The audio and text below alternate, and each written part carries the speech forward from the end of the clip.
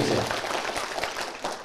那么接下来，打造我们辉煌的职业生涯，我们都渴望我们的人生职业生涯辉煌。怎样才能打造？我想今天我将和大家拨开迷雾，见青天，抽丝剥茧，找原因，让我们真正看一看。其实，大家不要把“成功”两个字想的那么复杂，更不要把它想的那么难。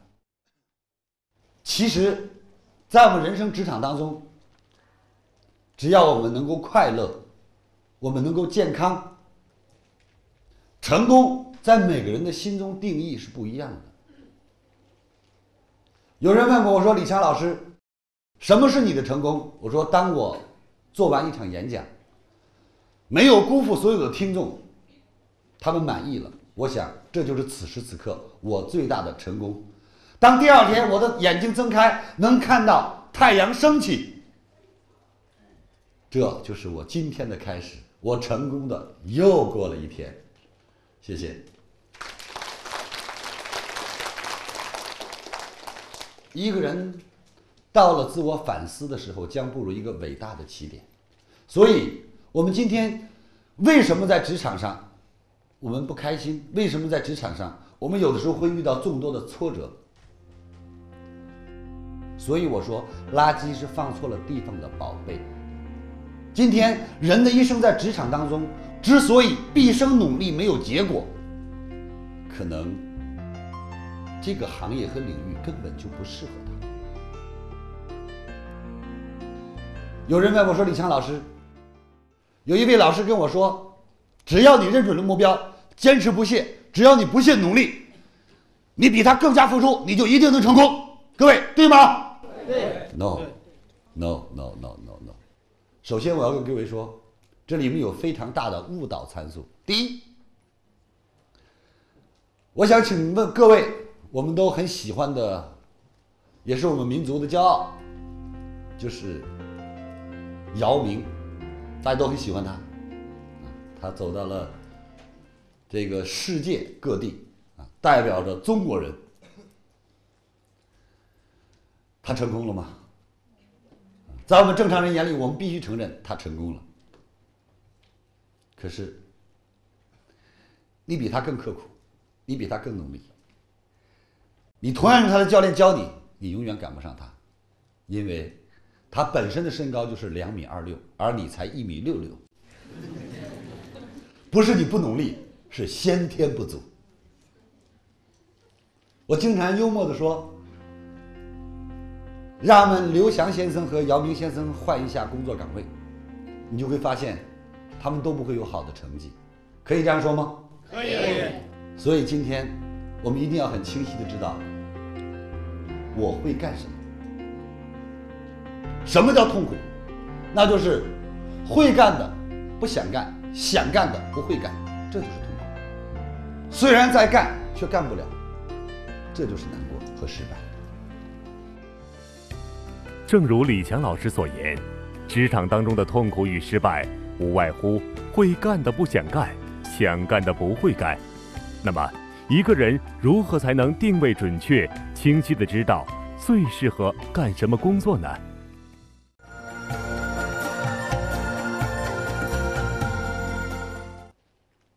所以我经常说，一个人一定要学会自我评估。在这里，我教给大家一种自我评估的方法，非常简单。回去以后，把你的名字、出生年月日写下来。把你的学历、专业、爱好写下来，把你为人处事、性格、特长写下来，然后从一到十给自己打分。你还可以再写一份，让你的朋友帮你打分，甚至于找两个朋友帮你打分。你会发现，你分数最低的就是你的弱项，分数最高的就是你的长项。让你的长项去做事，相对要比用你的弱项去做事，成功率的几率要高得多。就像一个原本就口吃的人，让他去做新闻发言人，一定很难。一个原本见人就很恐惧的人，你让他去做公众演讲，一定不会有好效果。所以今天我们要通过自我评估，来评估一下我们自己。有人跟我开玩笑说：“李强老师，我听说美国有一种仪器测智商，说如果这个人呢一去测智商很高啊，就去未来竞选总统，啊，这个去做科学家，啊，这个去做 CEO。说一要错这个智商很低，就是去开农场。”去做不动脑筋的事情，甚至于去种田，说中国不行，没有测的地方啊。啊，可能我原来我未来可能是一个啊 CEO 这样的角色，或者我未来可能是个科学家，可是突然我今天定位是在那里种田，这辈子糟践了。可是我这智商本来就该种田，我想当 CEO，努了这么多年力，连主管都没提上去，有这事儿吗？我说不能说没有，但也不确定。不过我倒是有一个测试的方法，相对也算是比较准确。如果大家有意，我们不妨试一试。有意向吗？有。呼声不响。还不够热烈。谢谢。其实很简单，呃，大家都知道一个词叫神经语言学。所谓神经语言学，就是人的神经和人的肢体是成正比的，啊，比如说我们看到这个有的老师往这里一站，口吐莲花，倒挂长江，滔滔不绝，出口成章，可见此人智慧非同一般，智商不能说高，但绝不能说低，可以这样说吧？对。那比如说这个老师往这一站，女士们、先生们，大家好，今天我给大家上堂课，大家在底下怎么说？弱智。为什么？他反应超级迟钝。哎，所以说人的反应啊。是跟他的智商往往成正比，所以我测试的方法非常简单。来，现在请我们所有的同学们，啊，我们试一下，很有意思。来，把手里东西全部放下，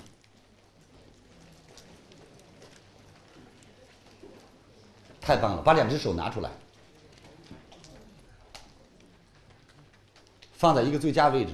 这个位置的作用是什么？就是你能够用最快的速度，使两只手在一起创击。听到了吗？当我说开始的时候，各位听清楚。当我说开始的时候，你就往一起创，创的时候自己数着，在心里数就好了。如果在五秒钟之内，你的创击能超过三十次，你很正常；超过六十次，你属于超智商的人。如果只在十次左右，最好不要告诉别人。据说这种情况很容易丢钱包。如果还有一种情况，我一说开始呀，两只手碰不到一起，不要再看他了，他会。自尊心受到伤害，这完全属于这个大脑精神分裂。听懂我意思了吗？如果你没有自信，最好就不要伸手了，啊，免得难看。朋友们准备好了吗？准备好了吗？我喊一二三，开始啊！一二三，开始！快，快，快，加油！加油！加油！加油！加油！加油！加油！哇，停！啊，这位同学，你拍了多少次？六十二次。哇，你属于超智商，你完全可以考虑再去读研。这位同学，你拍了多少次？九十一次。九十一次。六十一次。六十一次，基本上我可以向你们董事长建议，你做副董事长问题不大。有没有三十次以下的？没有是吧？好吧，我现在郑重宣布，女士们、先生们，今天所有的朋友们，在此，李强要向公众宣布，此此此时的智商测试纯属是一种娱乐行为，没有任何科学根据，但在娱乐的背后，我却发现了一个问题。怎么一涉及到你个人的事儿，你就这么玩命？我讲的满身大汗，也没见你这么拼命的鼓掌。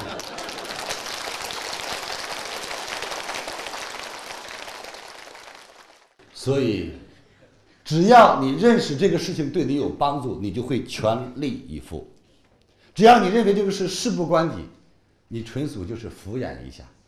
所以，在这个游戏的背后，我想要告诉各位的一个道理就是：亲爱的朋友们，只要是你的选择，只要是你会的，只要你全力以赴，效果就一定不一样。只要你认为是在为你自己打拼职场，只要你认为你是在为自己去工作，只要你认为一切的事情都将是成为自己的资本，我相信你的成就绝非比今天要优秀的多。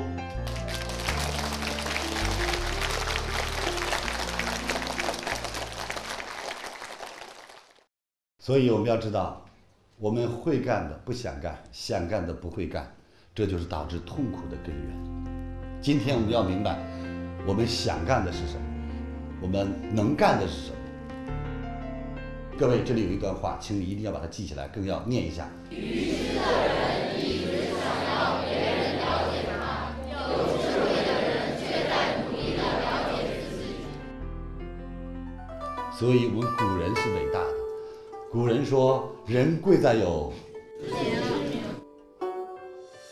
李强老师认为。会干的不想干，想干的不会干，那是因为不了解自己。看到这儿，我们不禁要问：一个身在职场的人，都需要了解自己哪些方面呢？要了解自己的特长，要了解自己的能力，要了解自己的适合。比如说，今天你思维敏捷，反应速度非常快。而且，你有一口流利的普通话，更重要的是，你有非常深厚的文学功底，你就可以去试着参加主持人大赛。比如说，今天你对任何一个事物事物，只要你研究它，你就从来不知道烦；只要你研究它，你完全可以做到废寝忘食。那李强老师告诉你，你完全今天可以找一个有兴趣的项目，不妨去研究，也许有一天。你真的会成为世界瞩目的一位科学家。我们在任何一个地方，大家应该还记得我说那句话：一个人要职称，一定要称职。为什么他不称职？实际上不是他不想称职，是因为他真的不太适合。我们确实要有时间静下来做一下自我评估。我曾经有人问我，说李强老师。你演讲一下就做了十四年，人们都说一个行业做久了会很烦，你烦吗？我笑着跟他说：“我不烦，因为我觉得他太适合我了，我太爱他了。”说你爱到什么程度？我说这么说吧，只要对社会有益，只要我时间允许，哪里需要我都去演讲。我去过政府，去过大学，去过小学，甚至于去过监狱。如果有一天历史淘汰了我，没人再听我去演讲，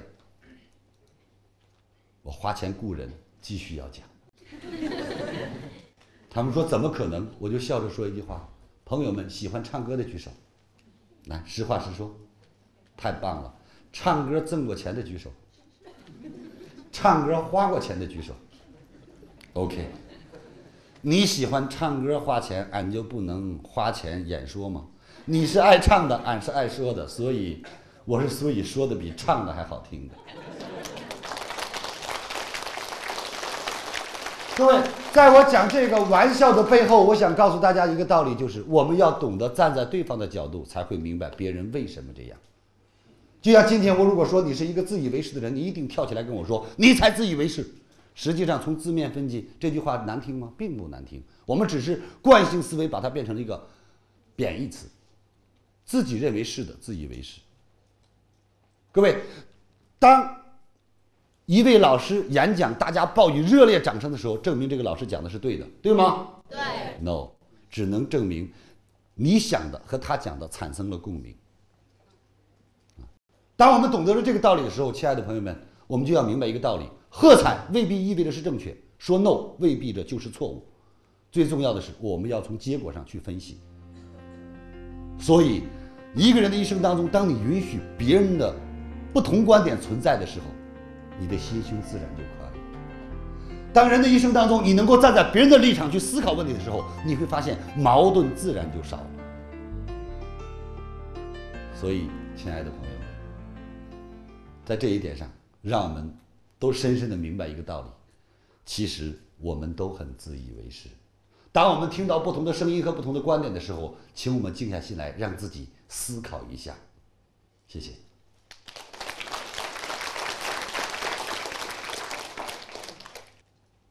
有人说李强老师，你是成功学专家。我总是很谦虚的跟他说，我想纠正您，我不是。我喜欢思维创富学。我觉得人最重要的是要去思考。我不喜欢把人说的头大手小、眼高手低。一张嘴，我是百万富翁。请你把袜子换双新的再说。一张嘴，我无所不能，请你拿出你的成果。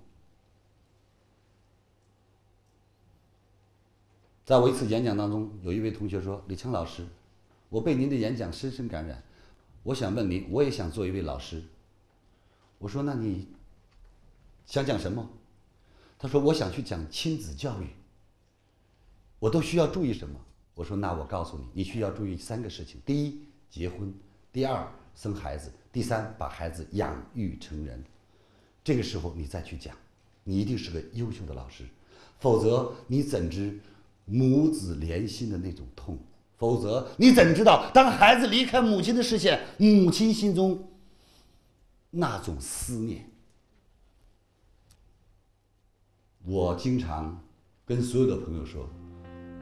如果你不是很了解，或者自己不是这方面的专家，请您不要给别人过多的意见，因为你可能会误导别人，因为你所阐述的只有理论，没有实践。理论和实践是确确实实有距离的，就像今天有人说。在任何的环境和企业当中，千万不要搞个人崇拜主义。而我却认为，在一个团队当中，首先大家要懂得尊重领导，更需要了解领导，直至佩服领导。在对待领导的态度方面，李强老师提出，在一个团队当中，成员们应当尊重领导，佩服领导。那么，这其中又有什么样的深层含义呢？否则，核心从何而谈起？否则，凝聚力又从何而来呢？当子贡问他的老师孔子，他说：“老师，我想做大事，请问，我需要做什么？”老师说：“需要三个事情：第一，强大的军队；第二，充足的粮草；第三，要有信仰。”当弟子说：“老师，如果三必去其一呢？”老师说：“那就去掉军队。”学生说：“老师，没有军队很危险啊。”老师说：“只要有粮草，只要有信仰，我们可以全民皆兵。”那学生又说：“老师，如果三必去其二呢？”老师说：“那就去掉粮草。”学生说：“老师，没有粮草，人会死掉。”老师说：“如果没有信仰。”活着和死了又有什么区别呢？请问信仰是从何而来？信仰是想法，是欣赏，是理想，是信念。最终把信念、理想都变成人生毕生的追求的时候，它就是信仰。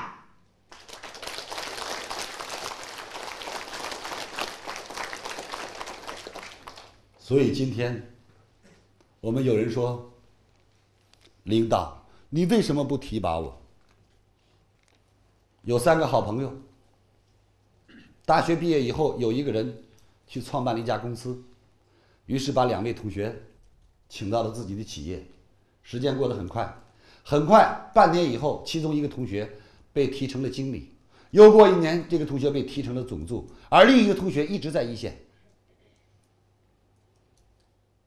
转眼三年过去了，一线的同学越想越窝火，越想越觉得自己委屈，于是有一天，喝了两杯酒，就去找老板。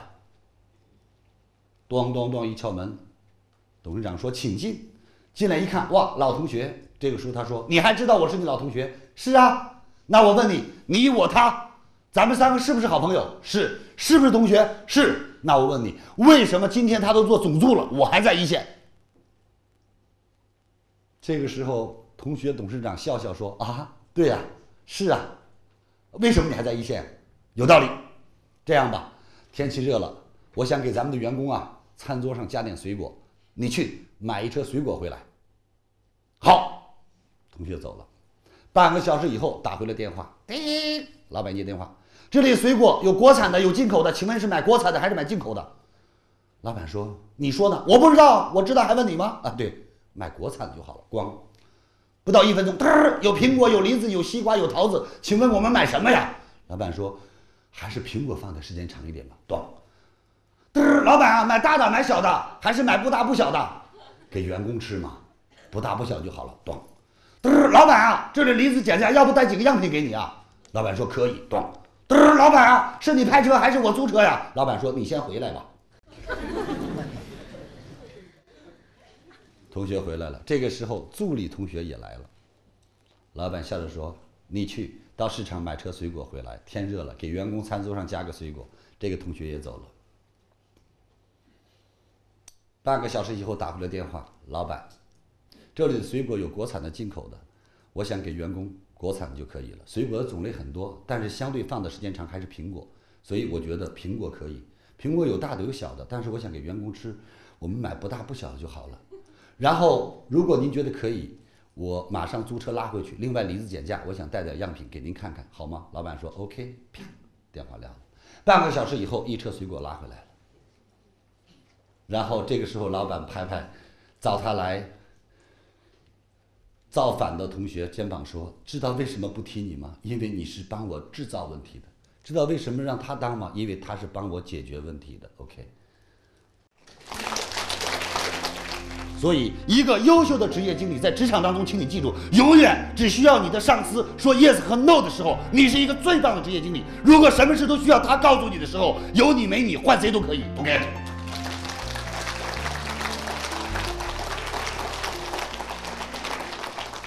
所以，这就是我经常说的：你干的怎么样？请把一句话记下来：努力做事只能把事做对，用心做事才能把事做好。